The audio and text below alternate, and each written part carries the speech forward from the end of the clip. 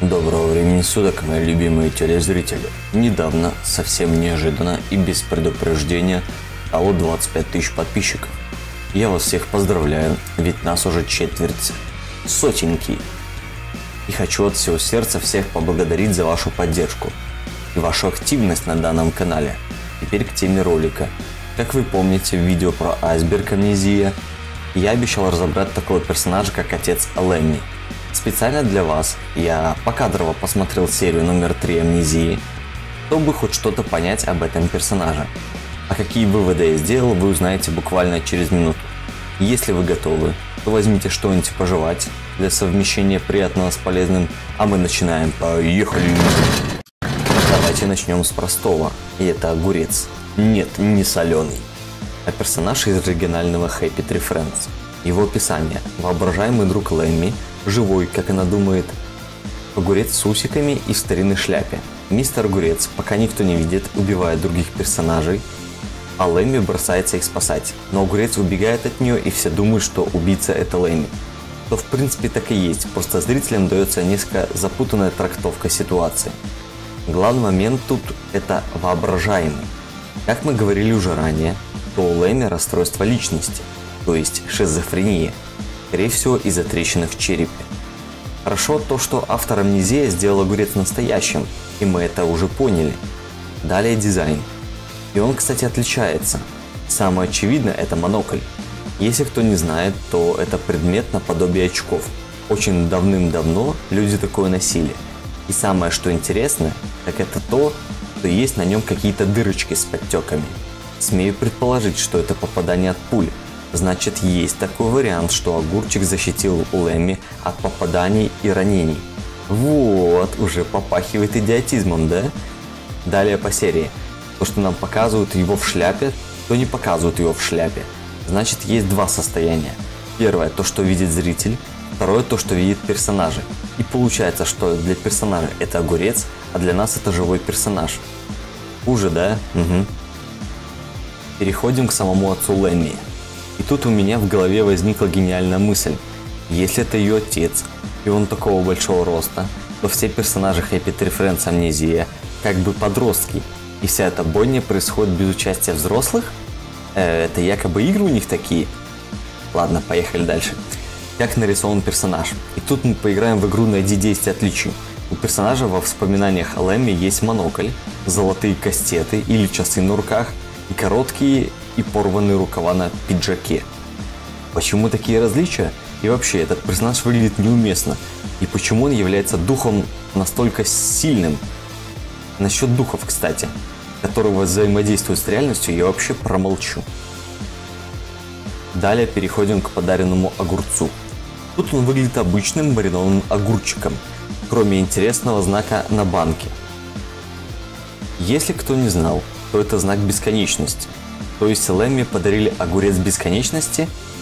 Ладно, шутка. И в это же время этот персонаж сам кушает огурец. Короче, с первыми данными мы разобрались. Теперь я расскажу пару теорий.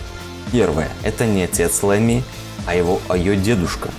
Почему я так решил? Да потому что он одет очень старомодно, это раз. Во-вторых, он почему-то не живой.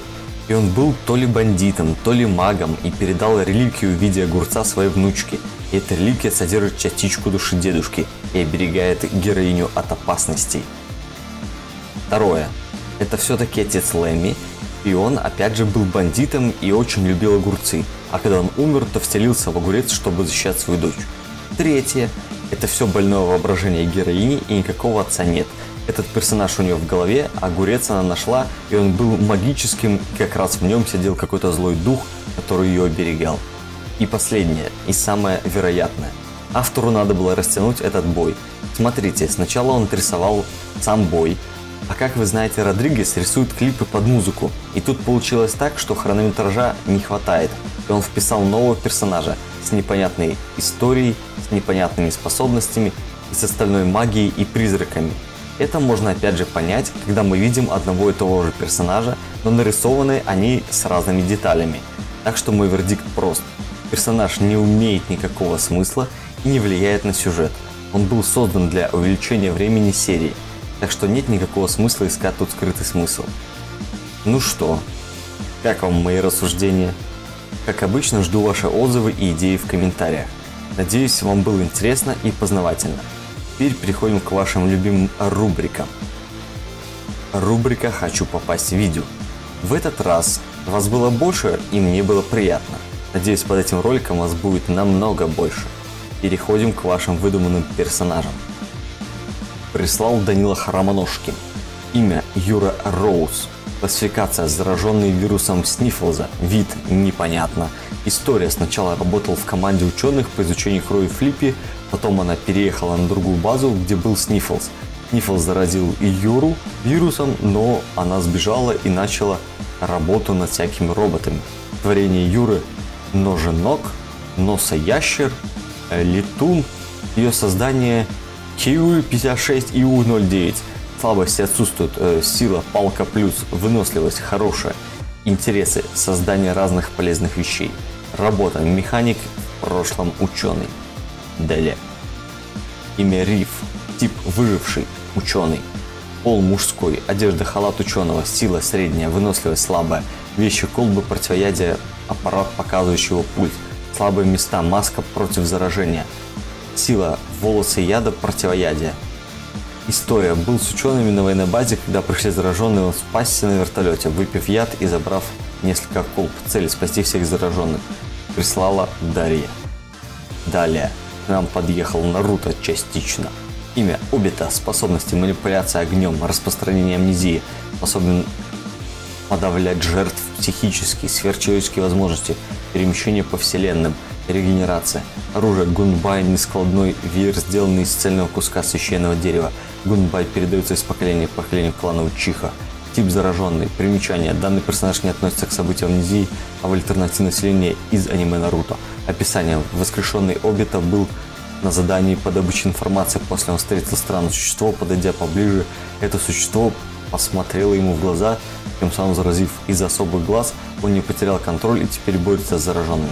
Прислал Богдан Горюнов.